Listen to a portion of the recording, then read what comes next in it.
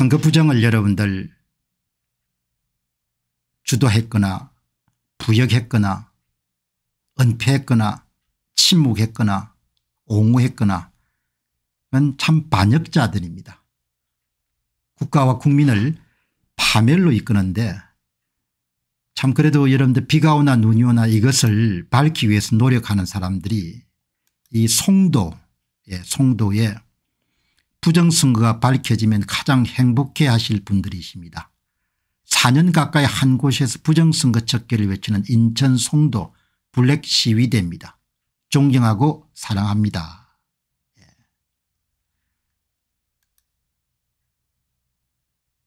부정선거 증거가 분명하다. 윤석열 정부는 즉시 특검하라. 예. 이렇게 나이가 드신 분들이 참 4년간 이렇게 계속하는 일이 너무나 힘든 일인데 알려지지 않았지만 이렇게 계속해서 노력하는 분들이 계신다. 이 예. 보시기 바랍니다. 진짜 탄핵돼야 될 사람들은 이거를 덮었던 대법관들이지 않습니까 음. 고맙다는 생각이 참 들기도 하고 민경욱 의원이 21시간 전에 한동훈도 법무부 장관 자리에 있으면서 부정선거에 대해 뭔가를 해줄 수 있을 것 같아서 열광했던 것이지 부정선거에 대해 한마디 언급도 없이 그 자리에 내려오면 애국동지들로부터 국회의원 한 자리 얻으려고 애면걸면했다는 쓴소리를 듣게 될 뿐이다. 있을 때 잘 하시라. 예. 한동훈 장관이 머리가 좋은 사람들이지 않습니까 지금 대한민국 공직선거에 있는 머리 좋은 사람들이 하는 그런 처신을 보시기 바랍니다. 예. 그 사람들 다 비슷하지 않습니까 대법관들도 마찬가지고 한동훈 씨는 절대 부정선거 문제에 대해서 붙자도 이야기를 안 할 겁니다. 한동훈 씨는 부정선거 정자도 이야기를 안 할 겁니다. 왜냐하면 본인의 임명권자인 윤석열 대통령이 침묵하기 때문에 이야기를 할 수 없는 겁니다. 예. 두 사람 다 뭐 그저 그저 그런 사람들입니다. 예. 울산시장 자리를 하나 차지하기 부정선거를 저지른 사람들에게도 무더기로 2 3년의 실행이 선고됐습니다. 그런데 300명을 부정으로 뽑아놓은 4.15 부정선거가 역사의 심판 없이 그냥 지나갈 것이라 생각하면 바보입니다. 비록 늦더라도 정의의 칼날을 비켜갈 수는 없을 것입니다. 민경욱 국토본 상임대표의 바램과 염원이 꼭 달성될 수 있기를 바랍니다. 그런데 참 현실적으로 보게 되면 만만치 않은 그런 과제입니다. 대통령 중심제 하에서 대통령 자신이 선거 부정을 은폐하는 데뭐그 침묵하고 무관심하는 태도가 가장 큰 걸림돌이 되고 있는 것이죠. 뭐가 두려워서 그렇게 하는지는 알 수가 없죠 우리로서는. 무슨 이유 때문에 그렇게 하는지도 알 수가 없지만 분명한 것은 대통령이 대통령 책무를 전혀 이행하지 않고 있다는 겁니다. 따라서 그가 무슨 병고를 당하더라도 아무도 하소연할 필요가 없는 겁니다. 예. 마치 그가 부정선거를 여러분들 강 건너 불처럼 여겼던 것처럼 국민들은 그가 병고를 당하더라도 그냥 강 건너 불처럼 여기겠죠. 서로가 주고받는 거니까.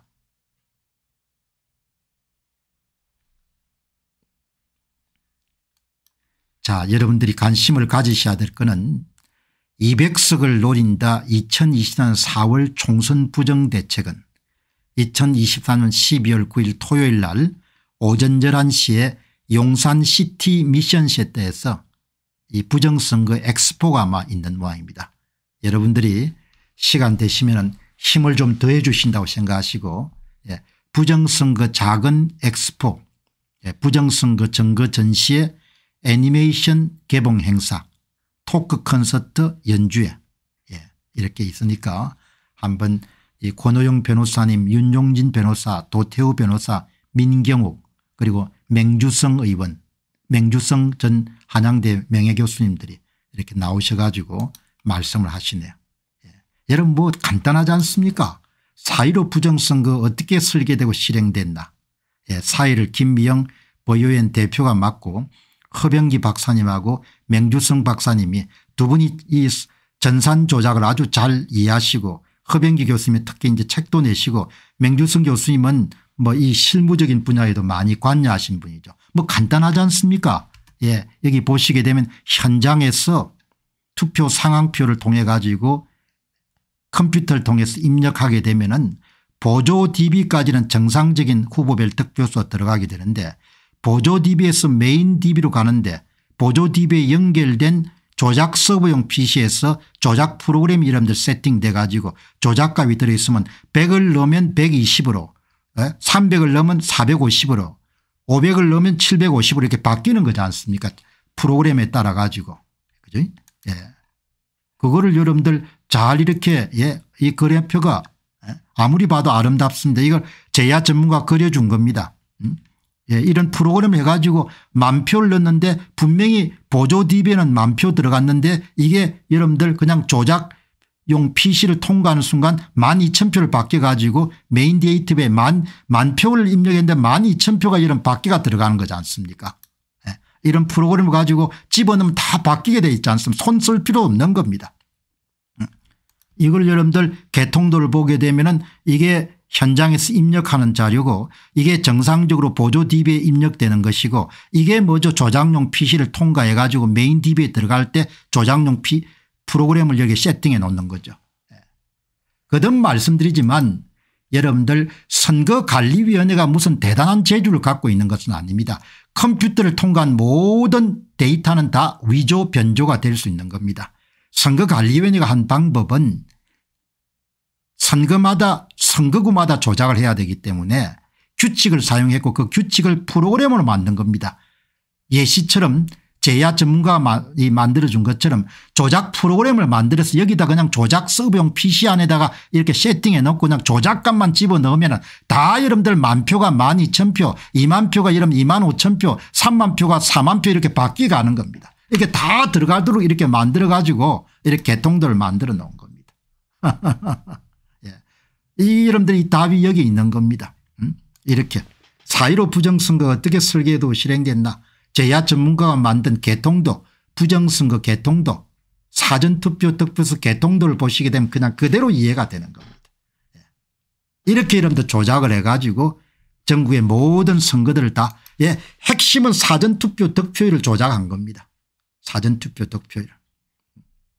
그리고 그 방법은 여러 번 말씀드렸듯이 구조작법은 상대방 사전투표 득표수를 훔쳐가지고 이름 더해주는 방식이고 신조작법은 사전투표를 뻥튀기해가 여러분들 활용하는 방법 통합선거인 명부를 활용하는 방법인 거죠. 예. 결국은 여러분들 양 후보의 격차를 얼마나 만들 것인가가 선거를 기획하는 자 부정선거를 기획하는 자들이 결정하는 겁니다. 4.15 총선은 4월 16일 날 민주연구원의 기획 전략기획위원장을 지냈던 이건영 씨가 자신의 페이스북에 잠시 올렸던 보정값이 뜻하는 겁니다. 선거구마다 이 조작값을 세팅을 하는 겁니다. 이번에 25%할 건지 아니면 은 10월 10일 강서구청장 보궐선거 35%할 건지 4.15 총선처럼 25%할 건지 이걸 결정한 겁니다. 예. 이렇게 여러분들 다 돌아가는 겁니다.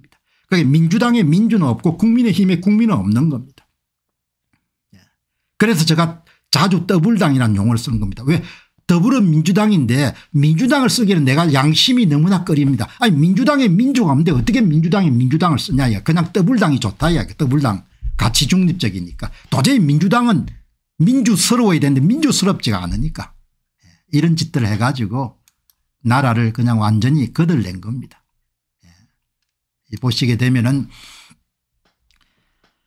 대강 살아가겠다는 사람이라면 모르겠습니다. 그래도 배운 사람이라고 식자청이라고 자부하는 사람들이라면 남들과 좀 달라야 되는 거 아닙니까 그런 사람들이 부정선거 얘기 안 나오면 고작 지금이 어느 시대인데 아직도 부정선거를 얘기하냐 말을 한다면 그건 너무나 부끄러운 일입니다.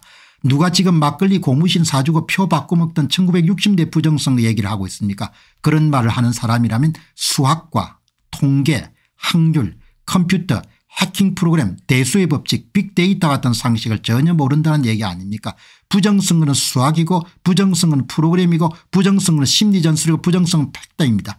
부정선거는 이 모든 것을 동원한 최첨단 디지털 범죄입니다. 그것을 아직 모른다면 당신이 확실한 사회지도층이 될 자격은 없습니다. 사회지도층이 될 자격은 없, 없는 건 물론이고 짐승입니다. 짐승. 검수입니다.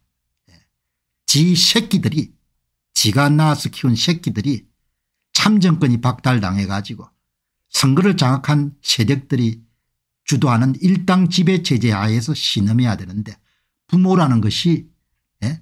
그거를 침묵한다 그걸 무관심한다 그걸 은폐한다 그걸 옹호한다 그건 짐승이지 인간이 아닌 겁니다. 나는 그냥 짐승이라고 보는 겁니다. 예.